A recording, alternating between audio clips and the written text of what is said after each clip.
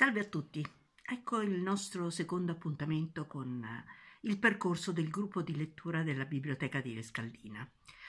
Eh, questo, in questo appuntamento vi vogliamo parlare di un libro che abbiamo letto, che ci è molto piaciuto e che è veramente molto speciale.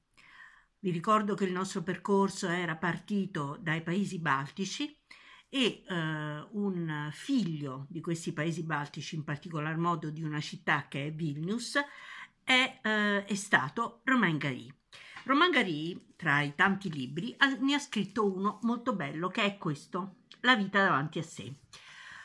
Se non fosse che La vita davanti a sé è un romanzo eh, bellissimo, dovremmo dire che eh, la vita di Romain Gary è stata ancora più bella e più straordinaria.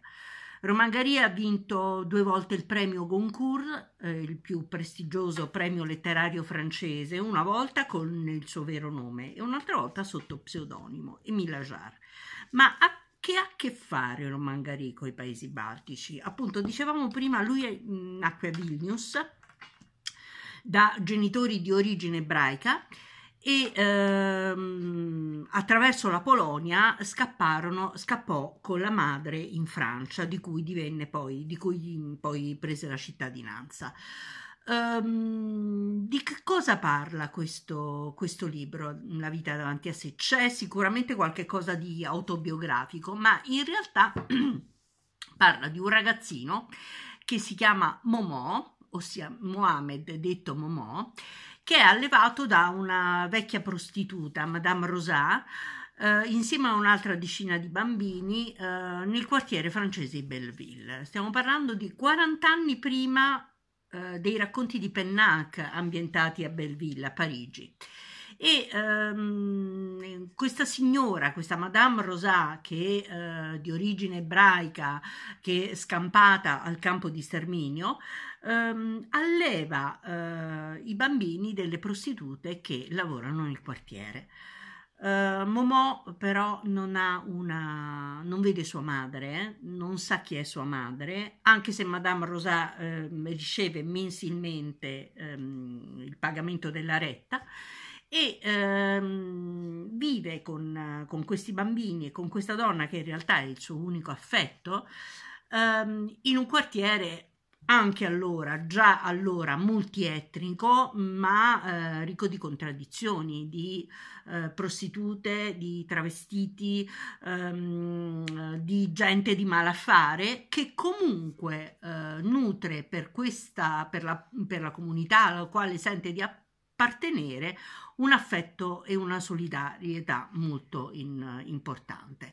Quindi Momò è, mh, vaga per questo quartiere con i suoi pensieri, eh, con le sue fantasie, eh, con le sue necessità e la scrittura di Gary è una scrittura che, mh, che eh, registra fedelmente eh, nello stile i pensieri eh, di Momò. È una scrittura fluida, è una scrittura valanga.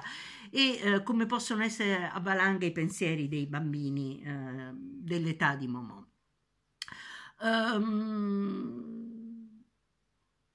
Madame Rosà si ammalerà, Momò farà di tutto per, um, per riuscire a salvarla e eh, anche per eh, nel momento in cui eh, si renderà conto che sta per morire di restituirla a quello che è la sua um, religione e quindi eh, di aiutarla a, mm, ad andarsene eh, in un luogo pieno di simboli della religione ebraica. Uh, c'è chi si prenderà cura di Momò e, um, e uh, la, la, storia della vita davanti a sé è una storia sicuramente eh, che finisce bene, buon fine, eh, però mm, diciamo che la, la, bellezza di questo libro è veramente, ehm, è veramente la, la descrizione di quanto possa essere meravigliosa, fantastica, particolare l'infanzia, anche se vissuta in uh, situazioni così particolari, in realtà poi Pennac racconterà anche in altro modo differente, insomma anche se in modo differente il, ehm, il quartiere di Belleville e le, e, e le persone fra virgolette trasgressive che vivono in questo quartiere.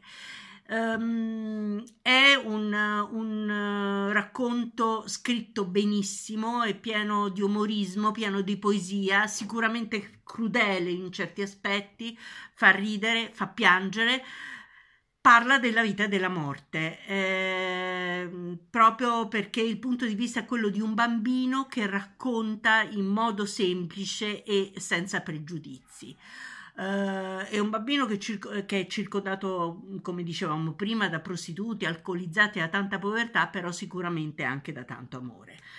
Um, è un libro da leggere che ci, ci, ci fa incantare. Um, da questo libro è stato tratto un film che purtroppo non si trova più in giro, che aveva protagonista Simon Signoret.